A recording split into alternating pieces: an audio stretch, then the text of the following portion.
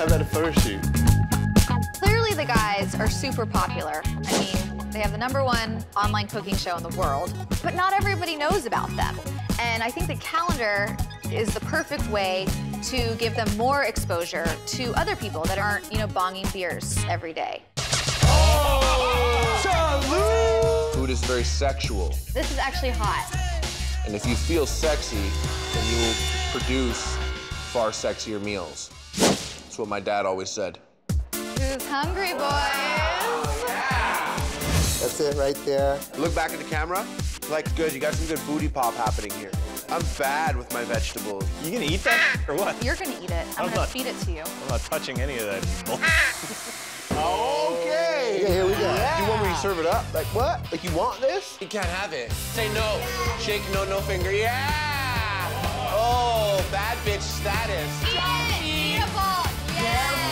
Yeah. Yeah, there you go. Oh, oh you're so dirty. Oh, All right, that's beautiful, Amir. Sexy, sexy. Oh yeah, that's a big old slice. yeah. So hot.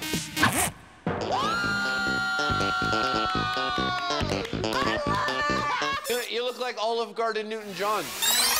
Oh, oh,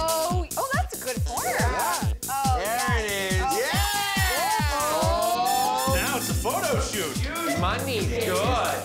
Really is degrading having bills thrown at you. I doubt this calendar will help with our business, but it should definitely help with our confidence. And Amir needed that. Amir needed to feel a little sexier. So did Dave. Josh needs to tone down feeling so sexy.